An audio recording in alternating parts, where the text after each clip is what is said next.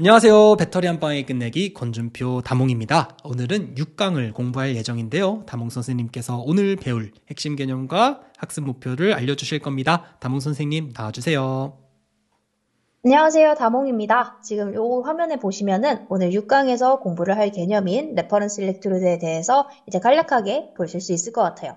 그래서 reference electrode라는 개념을 저번 시간에 공부했었던 standard electrode potential이라는 개념이랑 약간 연관지어서 조금 더 깊게 공부를 해볼 예정이고요. 실제로 이 공식을 보시면은 이제 어떤 복잡한 공식을 통해서 이제 reference electrode가 돌아가게 되는 것인지 그런 것들을 확인하실 수도 있을 것 같습니다. 그래서 이러한 내용을 좀 더 공부를 하는 것을 통해서 지금까지 이제 대략적으로만 이제 공부를 해왔던 working electrode, reference electrode의 의미까지 이해하실 수 있을 것 같고 그리고 추가적으로 reference가 어, reference electrode가 어떤 종류가 있는지 음. 그리고 얘네들을 실제 공식으로 살펴봤을 때에는 아 진짜 이게 작동을 하는 거구나 라고 할 수 있는 원리를 구체적으로 이해해 볼 시간을 갖도록 하겠습니다. 좋아요. 감사합니다. 그럼 본격적으로 우리 배터리 한 방에 끝내기 6강을 시작하겠습니다.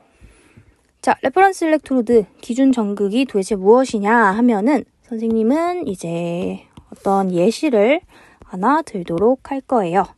자, 되게 귀여운 그림을 제가 한번 그려보도록 할 건데, 자, 어떤 땅에다가 제가 높이가, 아이고, 높이가 칸 두 개 정도 되는, 네, 네. 높이가 칸 두 개 정도 되는 A라고 하는 막대기를 하나 그려놓을 거고요. 그 다음에 이번에는 칸이 죄송합니다. 이번에는 칸의 높이가 한 칸 정도 되는 B라고 하는 두 번째의 그 막대기를 제가 그릴 거예요. 자, 그럼 이렇게 그린다면은 이 줄 사이의 높이 차이는 우리가 어떻게 말할 수 있을까요? 굉장히 간단한 내용이겠죠?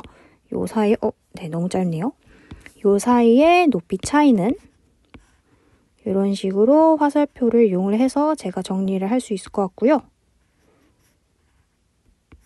네, 이렇게 그릴 거고 대략 높이는 맞지 않지만 이두 막대기의 높이 차이는 한 칸. 이다라고 말을 할 수가 있을 것 같습니다. 자, 그러면은 이제 시간이 지나서 이 똑같은 A랑 B라고 하는 이 막대기들의 길이가 길어졌어요. 네, 여러분들 이해가 조금 힘드시면은 어떤 A라고 하는 사람과 B라고 하는 사람의 키가 컸다라고 생각하시면 더 좋을 것 같기도 합니다.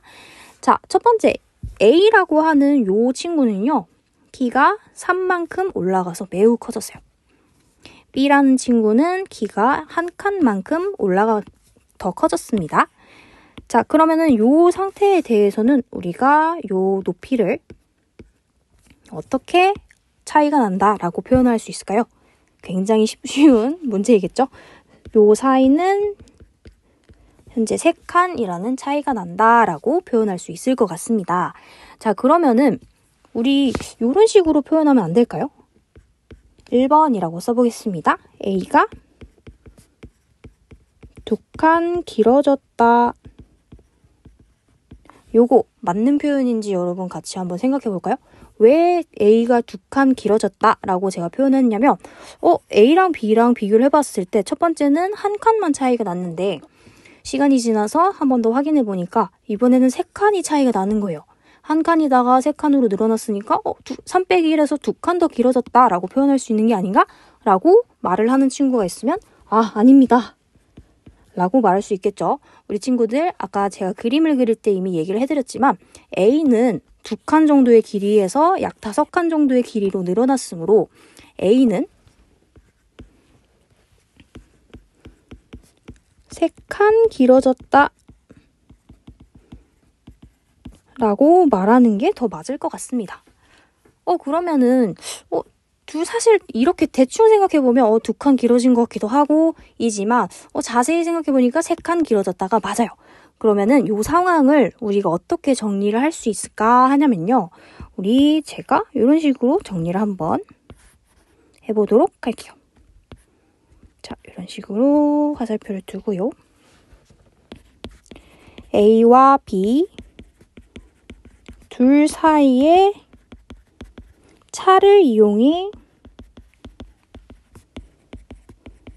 증감을 판단하면 된다 안 된다? 안 되고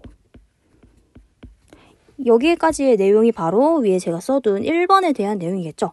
왼쪽에는 한 칸, 오른쪽은 세 칸 차이가 나서 어 얘네 둘의 3 빼기 1에서 어, 두 칸 길어졌다 라고 증감을 판단하면 안, 판단하면 안 되고 2번 서술이 맞겠죠? 그거를 이제 어떻게 표현할 거냐면 기준을 잡은 후 비교해야 함. 이라고 표현해 보겠습니다. 어, 그러면은 기준이라는 게 도대체 뭘까요? 제가 오늘 강의에서는 요 기준이라는 말을 주황색으로 표현을 한번 해보도록 할게요. 자, 주황색으로 기준 표현했습니다. 그럼 위에서, 위에 그림에서는 이 주황색으로 어떤 것들을 표시해 두면 될까요? 밑에 있는 땅, 요 부분을 이제 기준으로 생각하면, 생각하면은 맞겠다라고 정리할 수가 있을 것 같아요. 우리 지금 굉장히 어, 선생님 되게 쉬운 내용인데 이걸로 도대체 시간을 왜 할애하는 건가요? 요 내용을 우리 이제 electrochemistry에도 가져올 거기 때문입니다. 자, 우리 어, 그 전기화학에서 가장 중요했던 것이 바로 그 두 electrode 사이의 보, voltage, 즉 potential 차이였었죠. 그래서 이번에는 제가 그림을 위에는 이제 두 사람 차이의 아, 두 사람 사이의 키 차이라고 제가 표현을 했는데요. 이번에는 볼티지 차이로 약간 다르게 표현을 해보도록 할게요. 자, 여기 있는 화살표들을 한번 같이 봐봅시다. 제가 이런 식으로 그림을 그려줄 거고요. 만약에 지금 어, 우리가 지금 배울 것이 reference electrode라고 하는 어떤 electrode잖아요. 근데 이제 여기에서는 아직 우리가 익숙하지 않은 단어이기도 하니까 electrode 1번, electrode 2번의 potential이라고 제가 생각을 해보겠습니다. 그래서 이 말은 이 선이 지금 우리가 어, 항상 그 쉽게 생각하기 위해서 많이 익숙하게 사용해 왔었던 수직선이라고 생각하면 돼요. 그래서 두 번째 electrode의 potential은 수직선 사이에서 여기 위치해 있고 첫 번째 electrode의 potential은 수직선상에서 여기 위치했다고 생각하면 될 것 같아요. 자, 그래서 첫 번째로는 즉 반응이 많이 일어나기 전에는 어, 첫 번째 electrode와 두 번째 electrode가 이렇게 위치해 있대요. 근데 시간이 지나고 반응이 일어나다 보니까 첫 번째 electrode는 여기, 두 번째 electrode는 여기로 이동했습니다. 어, 당연히 이런 사, 상황 있을 수가 있어요. 우리가 지금까지 많이 봤었던 어떤 내용이죠? 어, cathode랑 anode가 각각 산화 또는 환원 반응이 일어나서 이제 서로의 반응이 이제 반대 방향으로 일어나면은 이렇게 각각이 좀 더 가까워지는 방향으로 galvanic cell이죠. 음, 가까워지는 방향으로 어, potential 차이가 줄어드는 그런 상황이 있을 수가 있겠죠. 자, 근데 사실 이렇게만 보면 우리 electrode 사이의 voltage 차이, 즉 아까도 말했지만 전기화학에서 굉장히 중요하게 여기는 그런 개념이었죠. 이 voltage 차이를 어, 명확하게 비교를 할 수가 있을까요? 어, 반응이 일어나기 전, 반응이 일어나, 일어나기, 일어난 후, 요거 두 개만 보면은 정확하게 어, 증감을 판단할 수가 없습니다. E one 빼기 E two의 값을 비교할 수가 없어요. 이게 어떤 위에서 어떤 상황에 대한 말이냐면 요 말이랑 똑같아요. 어, 살짝 이해가 아직도 안 갈 수가 있습니다. 하지만 제가 이번에는 밑에 다른 내용을 예시로 들어서 한번 설명을 해보도록 할게요. 자, 이번에는 E1, E2라고 제가 써둔 요 일렉트로드를 똑같이 써줄 거고요. 대신에 우리 아까 위에서 주황색으로 표시했었던 기준을 잡을, 기준을 잡아줄 겁니다. 여기를 기준으로 잡을 거예요. 그리고 E2의 포텐셜은 바뀌지 않는다고 가정을 해보도록 하겠습니다. 자, 그러면은 이 상황에서 시간이 막 지나서 반응이 일어났어요. 반응이 일어나도 어떻게 된다더라? 어떻게 되냐면, 네. 어떻게 되냐면, E2의 potential은 바뀌지가 않기 때문에 이런 모양으로 우리가 potential 변화가 있을 거라고 생각을 할 수가 있죠. 그러면 어떤 장점이 있냐? 우리가 위에서 봤었던 이 두 번째 상황, 기준을 제대로 잡았기 때문에 어, A가 정확히 얼마나 바뀌었는지를 명확하게 비교할 수 있다는 장점이 있어요. 위의 경우랑 반대되는 그런 내용이죠. 그래서 이런 경우에서 우리는 요 밑에 있는 요 경우, 요 기준이 되는 electrode를 뭐라고 생각한다? reference electrode, 즉 어, RE라고 우리는 어, 표현을 합니다. 대신에 이제 위 위에 같은 경우에는 reference 역할을 할 수 있는 potential이 없기 에, electrode가 없기 때문에 RE라고는 쓰기가 어렵고요. 대신에 두 일렉트로드를 이름을 요렇게 한번 정해 볼게요. WE, CE. 아래도 WE라고 표현을 해두겠습니다. 여기는 CE라고 가로로 써줄 거고요. 자, 이게 무슨 의, 무슨 의미냐? 제가 이제 오른쪽에 각각의 의미를 써드릴 건데요. 한번 쓴, 제가 쓰는 사이에 여러분들께서는 생각을 하면서 한번 같이 들어보셨으면 좋을 것 같습니다. 자, 먼저, 제일 먼저 제가 정리를 해볼 내용은 WE에 대한 내용이에요. 어, WE가 도대체 무슨 electrode의 약자일까 하면은 working electrode. Working electrode 또는 우리는 indicator electrode라고도 표현을 합니다. WE가 working electrode의 약자겠죠? 얘는 무슨 의미를 갖고 있냐 하면은 관심 있는 반응이 일어나는 전극이라고 저는 표현할 수 있을 것 같습니다. 우리 지금까지 저번 이제 다섯 강의를 이제 쭉 진행을 해오면서 선생님이 많은 electrochemical cell들을 이제 그려주었는데요. 거기서 다양한 반응들을 여러분들도 많이 보셨을 거예요. 이제 그런 반응 각각이 이제 일어나는데 사실 이제 배터리나 또는 일렉트로케미컬 셀 같은 것들을 만들 때에 우리가 정말 관심 있는 반응이 정해져 있어요.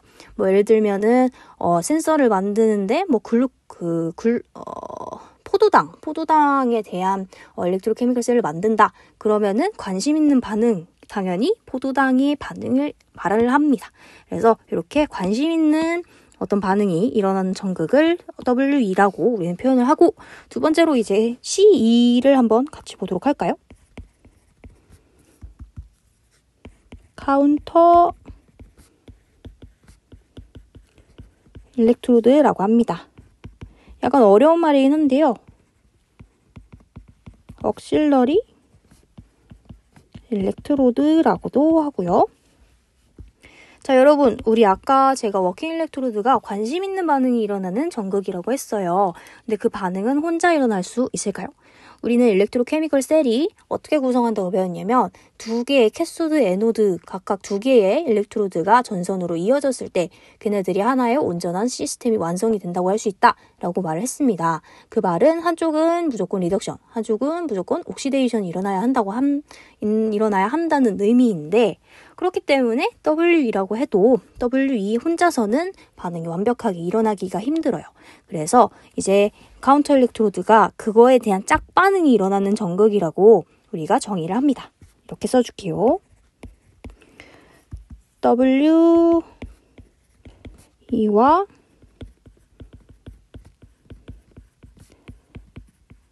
짝 반응이 일어나는 전극이라고 표현을 하겠습니다. 자, 그러면은 마지막으로 우리 뭐가 남았죠?